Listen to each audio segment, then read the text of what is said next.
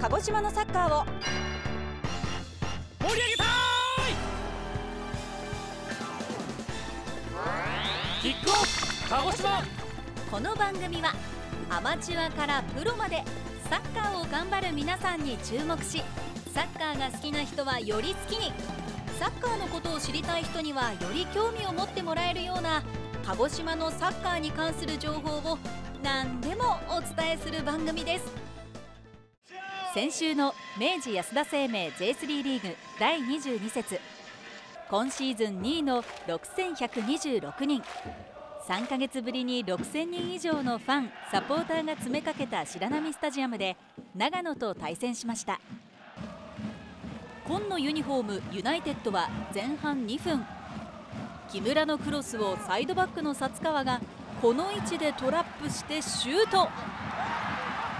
この試合キャプテンマークを巻いた薩川が積極的にファーストシュートを放ち勢いを生みました。しかし前半27分コーナーキックから先制を許します。ユナイテッドは折り返した後半11分。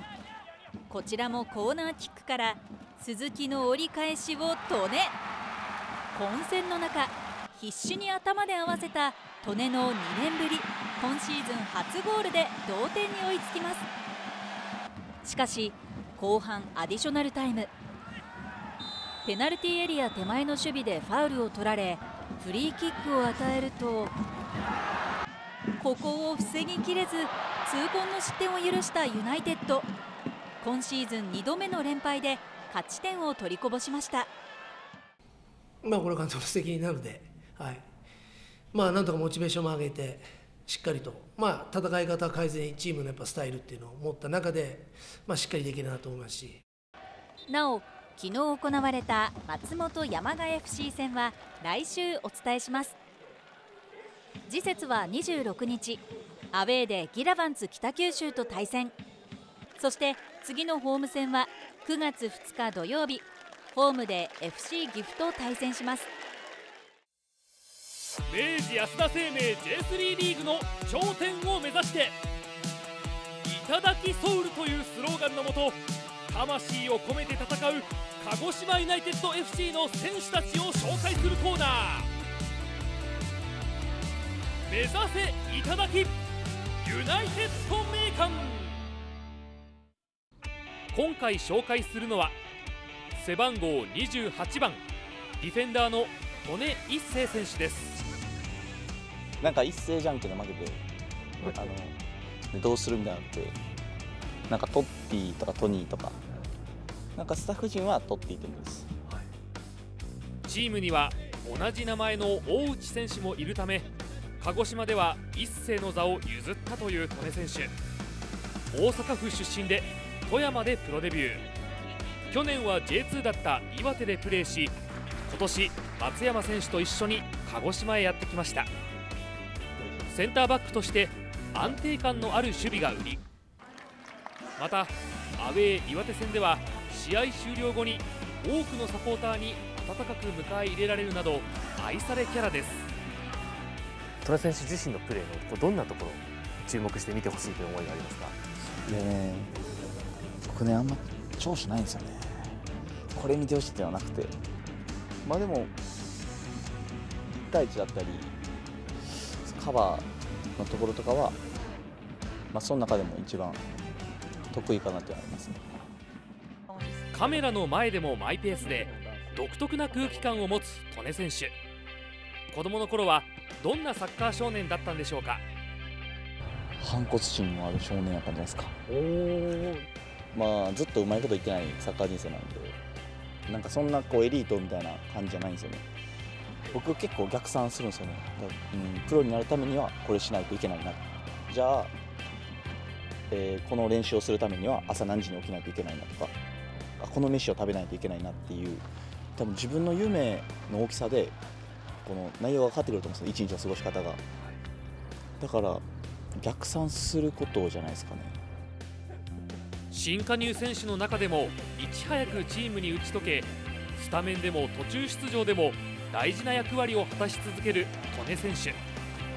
要所でピンチを救う守備に注目です、えーキックオフご覧の皆様。というか両親というかお父さんお母さん。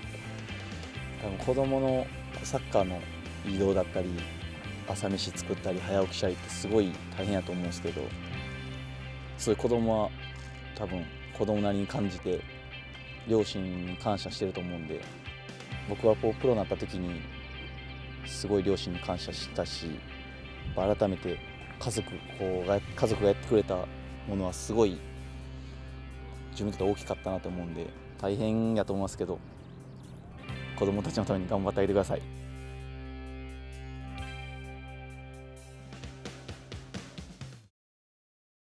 ロングキック王は誰だ？今回のチームは？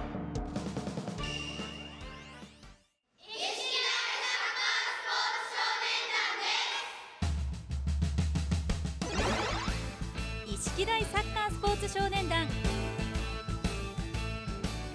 このチームの特徴を教えてください。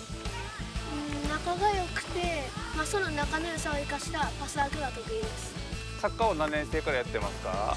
あお兄ちゃんたちがやってたんで。ちょうど1年生からなので6年間やってます。サッカーのどんなところが好きですか？まあみんなでパスをつないで点を決めるところです。続いて監督の大久保さんにお話を聞きました。少年団で地域に根ざしたチームになりますのでまずは、えっと、明るく楽しくみんなで仲良く最後まで頑張るチームとして活動しています。まあ、アンダー12っていうカテゴリーですのでやっぱり一人では何もできませんと親の支えだったり父兄の支えだったりっていうのがあって初めて成り立つ活動ですので、えっと、感謝の気持ちを忘れないように育てています。ロングキックにチャレンジする人を教えてください4年生の永井寛介くんです。寛介今回あのロングキックにチャレンジするということなんですけれども目標を教えてください。えっと、35メートル以上飛ばすことです。おお自信は？あります。おある挑戦者永井寛介くん4年生。ポジションはフォワード。目標は35メートル以上。3度の飯よりサッカーが大好きな寛介くん果たしてどんなキックを見せてくれるのか？ルールを説明しよう。ボールは静止状態で蹴ります。落下点までの距離をメジャーで測定。チャレンジは1回だけ。それでは勘介くんの挑戦です。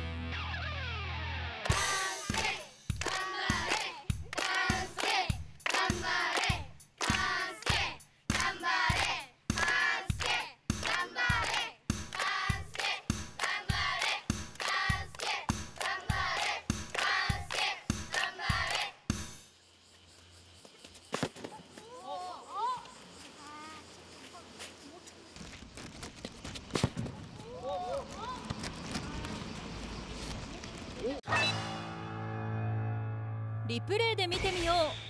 すごい。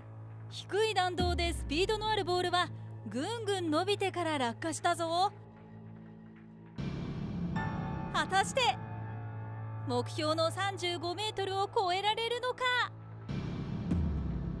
発表します。記録は。26メートル10で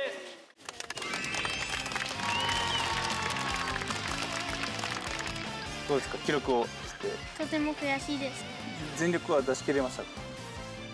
あらそうですか。じゃあまた次回あったらチャレンジしたい。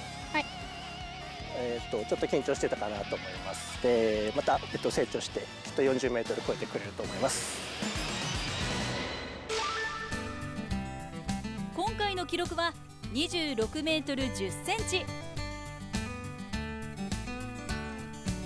現在明和サッカースポーツ少年団の内園優斗くんが39メートルでトップです。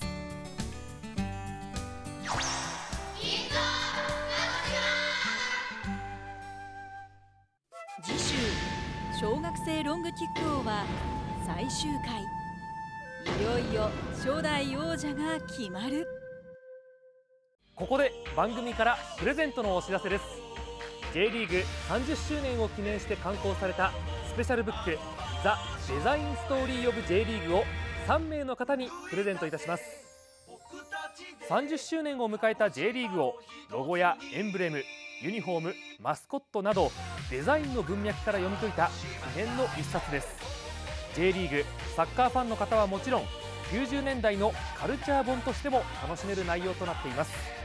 応募ははがきまたは番組公式アカウントへのダイレクトメッセージで受け付けます。宛先はご覧のところまで。必ず住所氏名年齢番組の感想を書いて送ってください。